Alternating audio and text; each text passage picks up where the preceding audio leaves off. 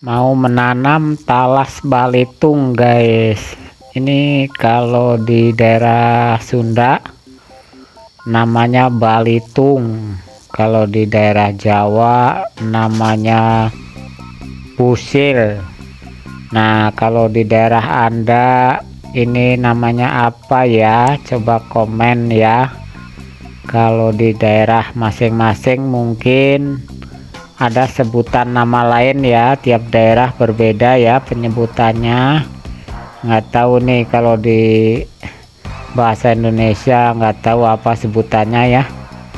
Ya yang saya tahu itu ya talas balitung atau dalam bahasa Jawa busil atau wet lumbu. Nah ini jenenge busil ya.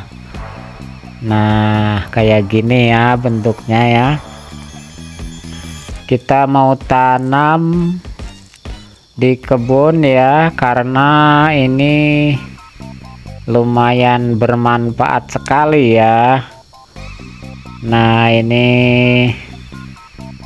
eh, talas balitung ini mengandung kalori ya atau bisa disebut bisa mengenyangkan ya mengenyangkan perut atau menjadi sumber tenaga ya ini kalau dalam keadaan darurat atau mungkin yang hobi juga nggak perlu darurat emang enak, enak ini ya. Ini bisa sebagai pengganti nasi ya. Kalau misalnya tidak ada beras tidak ada nasi nah ini makan balitung itu kuat tahan lama kenyangnya ini.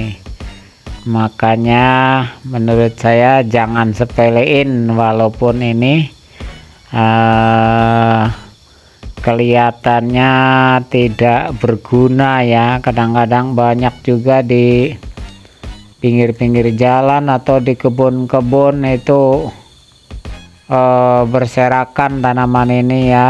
Uh, tidak dipiara gitu ya. Yuk kita berangkat ke TKP guys. Kita nanam uh, tanaman ini. Biasa guys kita akan membuat lubang. Lubang untuk menanam talas balitung. Kenapa sih kalau menanam harus selalu bikin lubang? Ya nggak tahu ya. Emang udah dari nenek moyang begitu ya. Kalau menanam itu harus gali lubang dan dipacul gitu ya supaya gembur. Jadi supaya tanamannya mudah hidup. Si tanaman itu jadinya mudah untuk menyerap nutrisi-nutrisi yang ada yang ada di tanah ini. Gitu. Kalau dipacul tanahnya gembur dan eh, tidak keras gitu ya. Jadi akar-akar tanaman juga eh, mudah sekali ya untuk menyerap eh, makanan atau nutrisi yang ada di dalam tanah ini.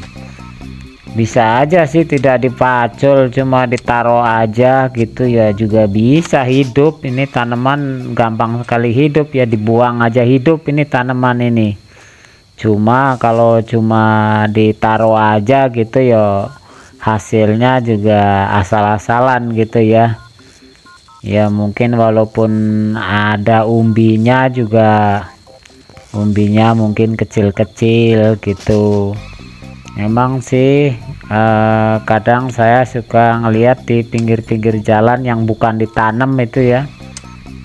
Itu juga pernah saya cabut itu ada ininya ada umbinya gitu ya.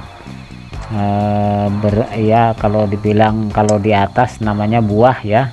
Kalau buah mah gitu. Nah cuma ini buahnya ada di dalam tanah yaitu namanya umbi gitu ya.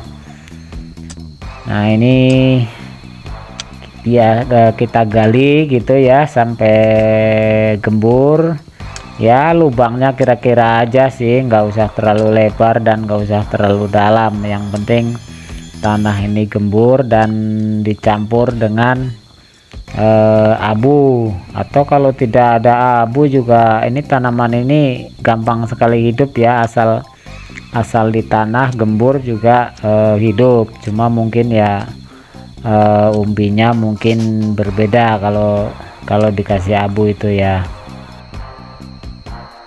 kalau saya perhatikan tanaman ini ya hampir diabaikan gitu ya. Jarang yang melirik eh, apa namanya potensi tanaman ini ya. Tanaman ini jarang dilirik karena mungkin eh, ini ya eh, usianya panjang ya hampir eh, satu tahun ya sampai ada umbinya gitu ya. Rata-rata 8 bulan ke atas gitu ya.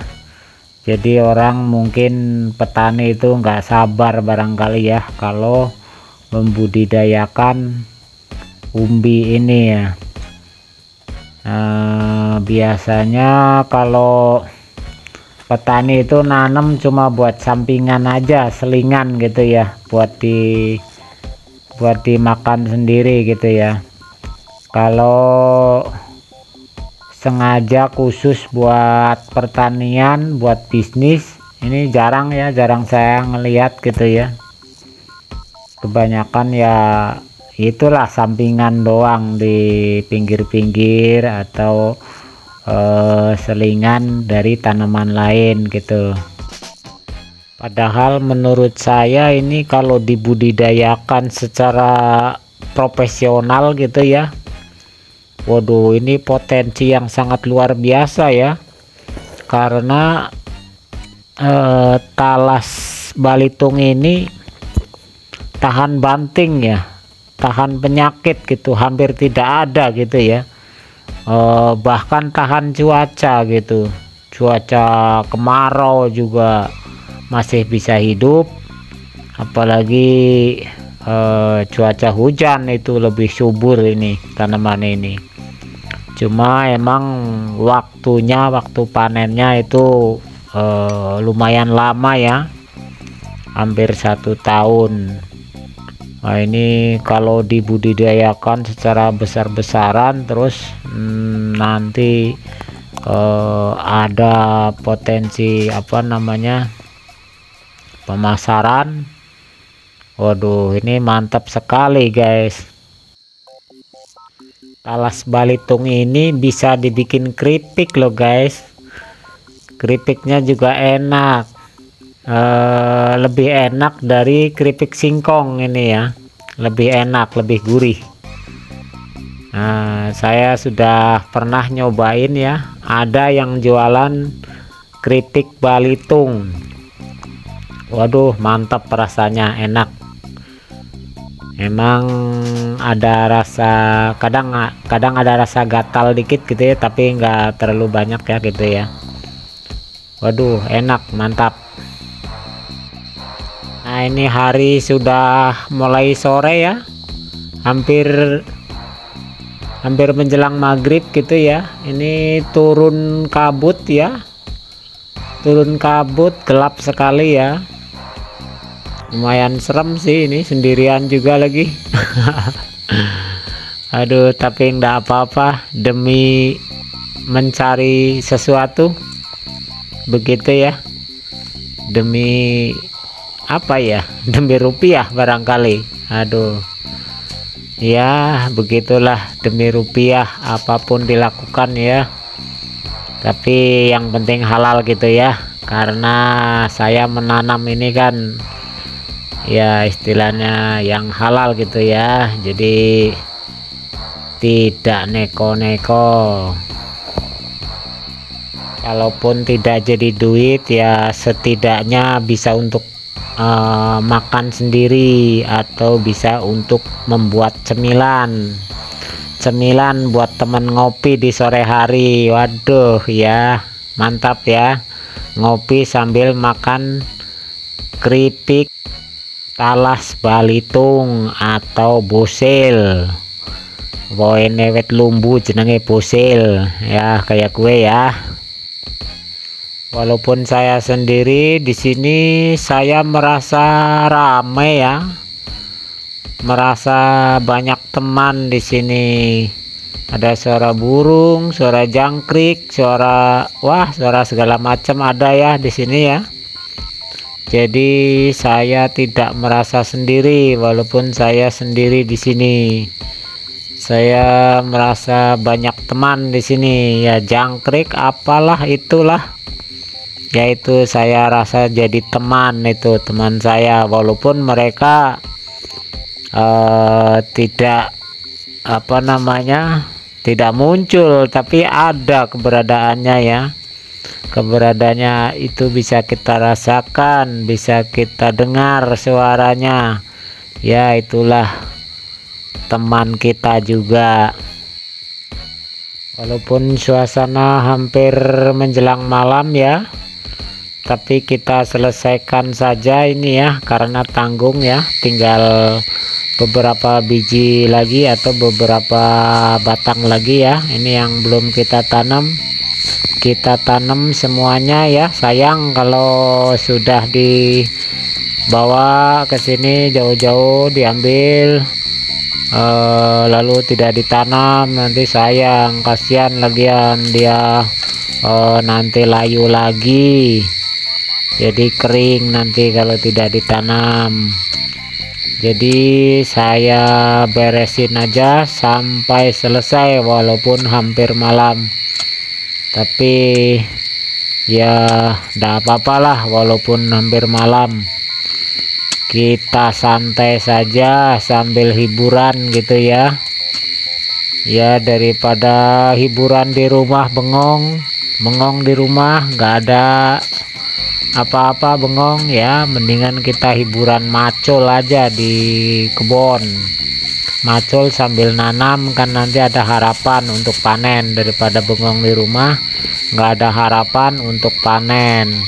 Boro-boro mau panen orang bengong ya hasilnya apa di rumah? Paling-paling ya pengen cemilan juga tengok-tengok cari apa. Ya kalau banyak duit. Kalau banyak duit sih tinggal uh, ke warung cari makanan ada gitu ya segala macam ada. Nah kalau di warung kan harus pakai duit. Nah kalau nanam sendiri ya kita petik aja di kebun. Siangnya kita petik nanti sore buat cemilan sambil ngopi.